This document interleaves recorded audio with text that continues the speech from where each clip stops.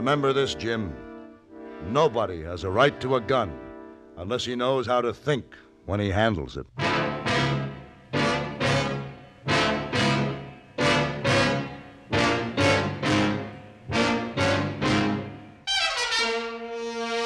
Have Gun Will Travel. Starring Mr. John Dehner as Paladin.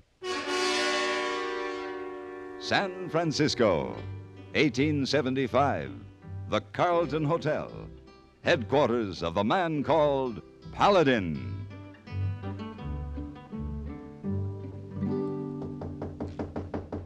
Yes.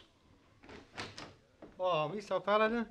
Oh, you get ready to go away again? Yes, hey boy, I have to make a trip out to Nebraska. What's on your mind? Oh, Mr. Paladin, uh, hey boy have exceptional good fortune. Well, I'm glad to hear it. Oh, sir. Uh, you know guest in hotel, Colonel Seymour Van Courtney? That slick looking gent who took the suite on the third floor? Yes, sir. Well, uh, Colonel Van Courtney think, hey boy, very nice fella. I'll go along with that. Oh, yes, sir. Thank you. Uh, so Colonel Van Courtney, with utmost generosity, permit hey boy to buy mining stock. Mining stock.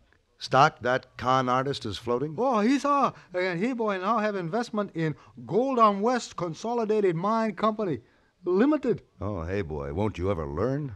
Too bad you must go away, Mr. Paladin. Uh, maybe uh, Hey Boy could talk to Colonel Van Courtney when he come back. Uh, hey Boy would say, you good friend. Maybe he permit you to buy stock too.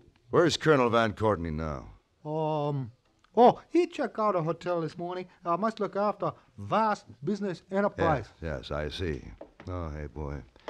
You work hard for your money, and it seems time you started thinking about your future. Well, when I get back, we're going to have a long talk. Oh, he saw. Uh, now maybe by that time, uh, Hey Boy can fix so uh, you can make splendid investment too. Uh, never mind, hey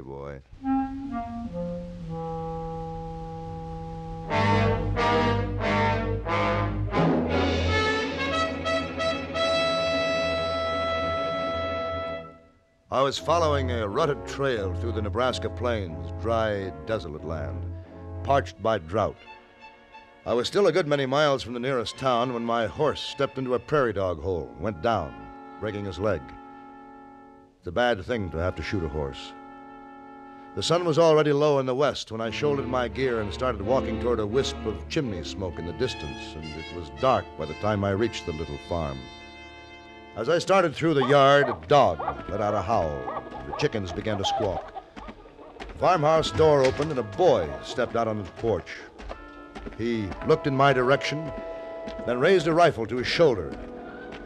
Hello there! Ah! No.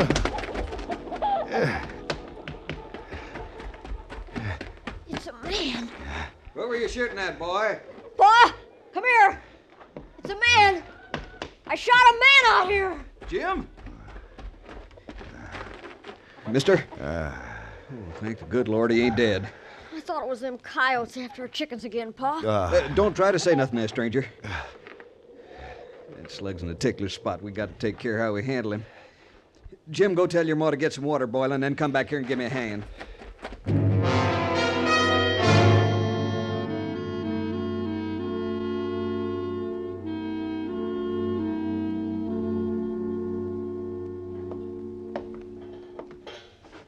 Well, stranger, uh-huh. looking at you today, I'd say you're gonna make it. well, Now, you just lie back there quiet. You still got a long way to go. I don't mind telling you now. It looked pretty touchy there for a while. But we can thank the good Lord you're alive. and I guess we can thank you, too. There ain't gonna be a man's blood on my son's hands. Not if I can help it. Mister, when I let go of that shot, I thought it was them coyotes out there. Figured to scare 'em off. I've been trying to teach the boy to be dang sure when he sends a bullet off. A gun is only as dangerous as the hand that holds it. Guns, I hate 'em. Pa, he's got some strong notions. I wasn't much older than Jim here when they took me off my farm back in Illinois, put a soldier suit on me, shoved a gun in my hand, and sent me out to kill. I wasn't a soldier, I was a farmer. But there's men might be living today. except I shot him with that gun they gave me. Were you in the war, mister? Yes, but I trained to be a soldier. That's different. I. I understand how your father feels. I don't. I guess I ain't like Pa. Wish I could have been in the war. Um, you can say that, boy. Now it's over and done with. Uh, stranger, you ain't gonna be able to travel for a while yet. And we want to make you comfortable. Thank you. Oh, by the way, I, I'm James Buford, and this here is my son Jim. My name is Paladin. You're paladin?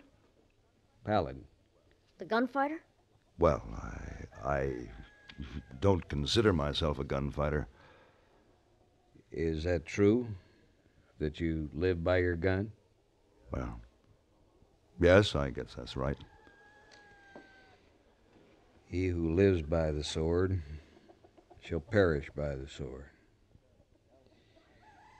Paladin, it might cross your mind once in a while how you was nearly killed for a sneaking coyote.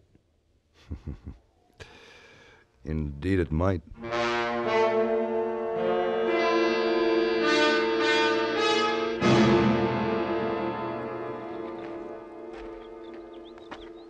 Jim's gonna bring up the wagon. He'll drive you into town. You'll be able to pick yourself up a horse. You're sure now you feel up to traveling? I'm sure. I've got to be on my way. Thanks. Well, Paladin, I, I don't approve of the way you make your living, but I got to admit it's been awful nice knowing you. Well, I've enjoyed our talks, Buford. And I hope you get that rain soon. Oh, sure, it'll come. But I can just forget this crap. Corn all stunted and shriveled on the stalks. Might still be time for some winter wheat, though. Oh, say, you can do something for me in town. Sure. This letter here. It goes to Mr. Kyle at the bank. It's uh, about a loan we talked about. You really have to put up a fight for this land, don't you, Buford? Yeah? And it's been fighting me back every inch of the way. But I'll beat it yet. You ever feel like giving up? Lots of times. I'm hanging on for Jim there. When he's ready to take over, he's gonna have a farm he can be mighty proud to own. Oh, oh, oh. All set, Paladin. Yeah. Oh, so long, Buford. Good luck. So long. Bye, Pa. You'll be back before sundown, Jim. Seems too bad. What seems too bad? Won't be a very good time when we get into town. Oh? Good time for what? Well, town will be kind of empty.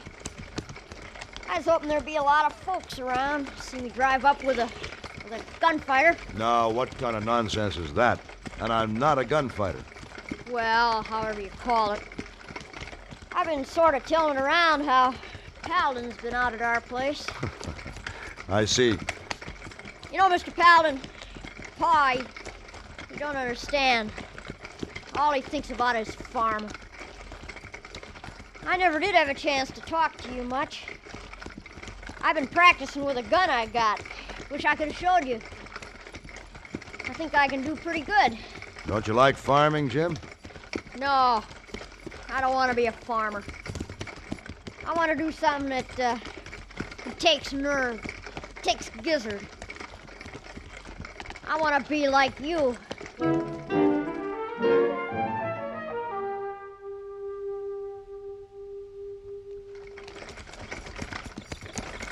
Uh, pull up here, Jim. I might as well deliver this letter to the bank for your father. Oh! Oh, yeah! Oh! Hey, Mr. Paladin, look. Those men. Quick, Jim. Out. Duck down the other side of the wagon. Come on. They're hold-up men, Mr. Paladin. They've been holding up the bank. Quiet. You want to be smart? Don't nobody in there move. We got rifles. Look, all those sacks they're carrying. That's the bank money. Yeah. Come on. Well, aren't you gonna do something? I'm going to stay right here behind this wagon. But they'll get away. They're riding off. Paladin, go after him. Nope. You got your gun. Five men with rifles? You don't go up against odds like that. You're scared. Sure. Well, let's go talk to the sheriff.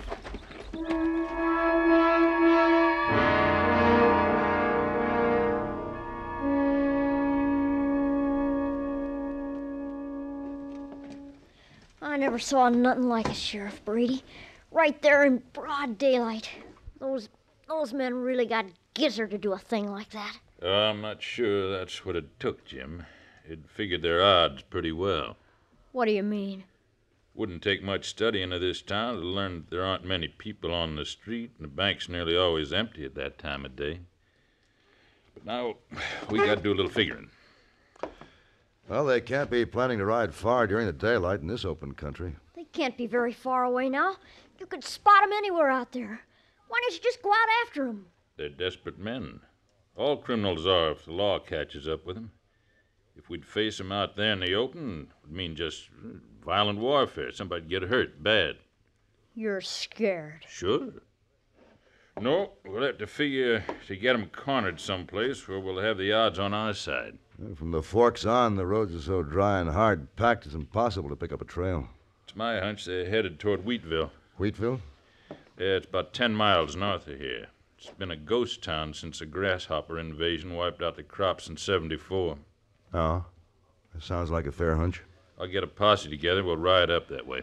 Well, I'd be happy to ride with you. Glad to have you. Could I go along? Jim, your pa said you were to be home before sundown. Oh. Jim? Yeah. Yeah, all right.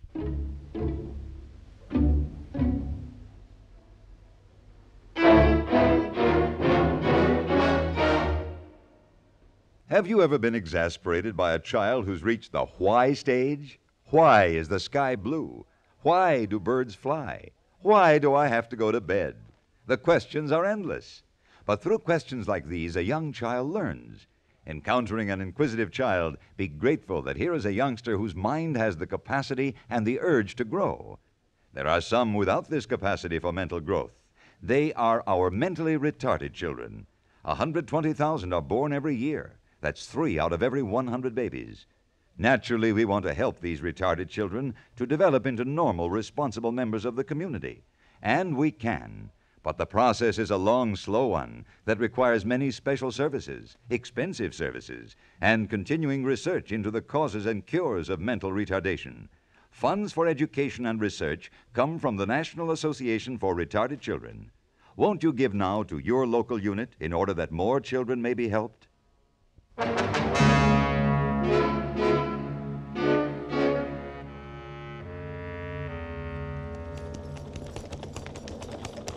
Sheriff, those tracks in that draw back there, your hunch was right. This is where they're headed. Yeah, but as you can see, Wheatville was a pretty spread out little community. Where they're holed up's another thing. Hold it, fellas, hold it! Oh, oh. Yeah, this was quite a town. What's that tall tower up ahead there? Grain elevator, built by some eastern outfit when wheat was booming. Might be a likely hideout. Not a very healthy one. It's loaded with grain dust. Ah. Wouldn't take much to cause an explosion, huh? The tiniest spark in that thing would go right up. As dry as this country is, that could be bad. I hate to think about it. A fire that could start from an explosion in that elevator could wipe out the country for miles around. Well, if they are in there, it's a cinch we can't smoke 'em out. Wherever they are, when we corner them, they'll give up when they see how they're outnumbered. Let's ride up the elevator and have a look see. Hey, wait a minute. Look. Hmm? Look back there, that horse. Isn't that Jim Buford? It sure is.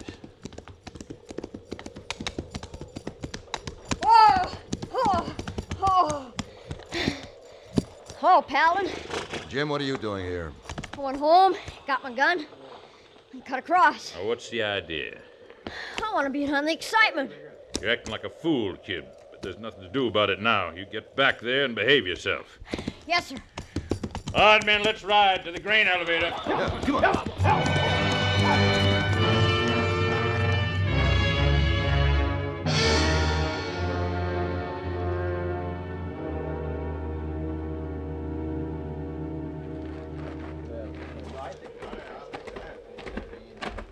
Well, Sheriff, It's their horses, all right. Hid away in that lean-to. then they are in this grain elevator. No question about it. How do we go about getting them out? They got the men stationed all around the place. I don't think they'll give us any argument when they know they're surrounded. None of your men are apt to go for their guns, are they? They know better. They all know what a shot into that grain dust would do. I guess the holdup men do, too. Why, sure. Being jailed for bank robbery is better than being blown to kingdom come. Well, come on. Well, I'll be. Hey, look up there. Huh? On that ladder going up the side of the tower. That's Jim Buford. What's that crazy kid up to now? What's he doing climbing up there? He's heading for the cupola on the top of the elevator. He's got that gun, Paladin. You suppose he's figuring to get in there from the top and face those holdup men? That's probably it. I'll lay odds there's one ain't got sense enough not to fire that grain dust. I think you're right. He's got to be stopped.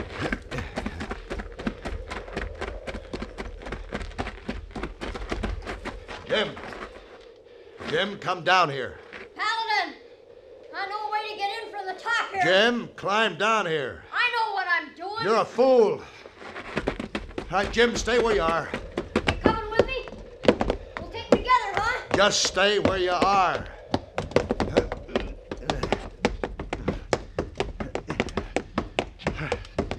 Ah, now, give me that gun. No, Paladin. I know a way to get in from the top here. Come on, we'll face those guys. Smoke them out. Give me that gun. No, I'm going in there. Jim, I said give me that gun. Look out. Look out, we'll fall. Give me that. Now. Now, you little fool, climb down from here. Go on, climb down. Oh, all right. What's the matter with you, Paladin? You scared? Afraid to face up to those men in there? They got too much gizzard for you? I'll show you how much gizzard they have. Come on.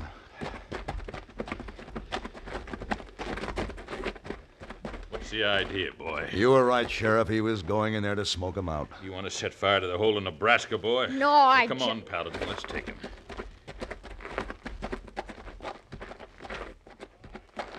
All right. We know you're in there. You know we're out here. There's five of you. There's 20 of us. We got you surrounded. Let's have your rifles. Throw 'em out.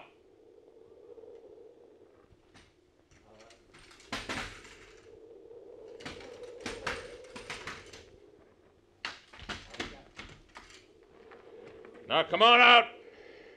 Your hands behind your heads. We don't aim to give you no trouble, Sheriff. I didn't think so. Come on, let's move. Why? What?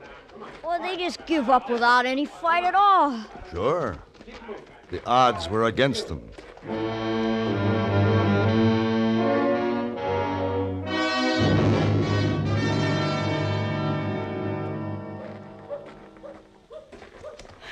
Well, I got them all locked up. Guess I'd better get back to the farm. I guess you better. You'll never make it before sundown. You gonna give me back my gun? I suppose I'll have to. It's yours. I've got no right to it. But you haven't either. What do you mean? Nobody. Nobody has got a right to a gun unless he knows how to think when he handles it. Jim, you nearly killed me because you took a wild shot at a sound in the dark. You didn't think. Back there in Wheatville, you might have caused a disaster like this country has never known by firing into that grain dust because you didn't think. Well, I. How old are you? 14. Yeah. Well, it seems to me it's about time you started thinking. Like a man. Instead of a crazy kid. Yes, sir. I, I guess so. Jim, there's something else. Yes. You were disappointed in me when I wouldn't stand up to five men with rifles, weren't you now? Well, Sure. Sure you were. And you were let down when those hold-up men wouldn't fight it out with a posse of 20. yeah, I guess that's right. Mm-hmm. Well, this past week, I have known a man who will stand up to any odds and fight Who? your father. Pa? Mm-hmm. When your father homesteaded his land, The government was betting that 160 acres, that he couldn't stick it out six months. But your pa won the bet. But that didn't end the struggle. There was the spring blizzard in 73. that wiped him out. But he came back fighting. There was the grasshopper invasion, 74. His crops just leveled to the ground, but he stood up to it. Now there's the drought. But he's not about to give up. He's negotiating alone right now so that he can keep up the fight. A fight against real odds. Do you understand what I'm saying, Jim? Yes, sir. I guess so. Your paw. Now there's a man doing a job that takes gizzard. Yes, sir. Yes, sir.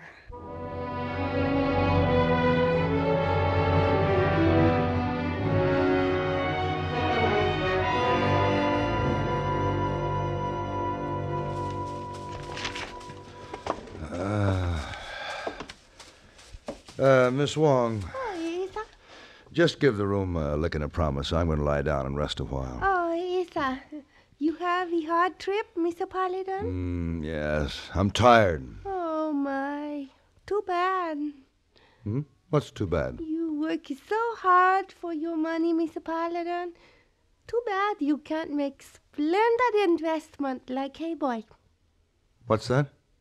Oh, Hey Boy buy mining stock. Then he sell mining stock and make lots of money. What? What?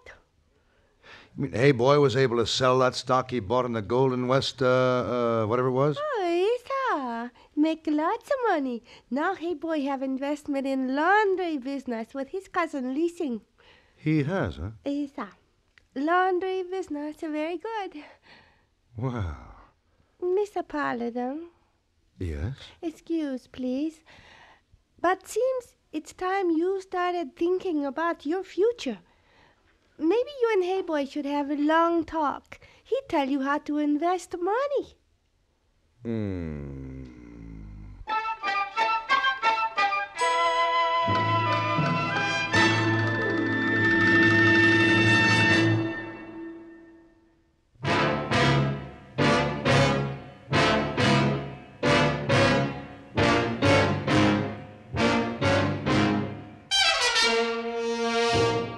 Have Gun Will Travel. Created by Herb Meadow and Sam Rolfe, is produced and directed in Hollywood by Frank Paris and stars John Dehner as Paladin, with Ben Wright as Hey Boy and Virginia Gregg as Miss Wong.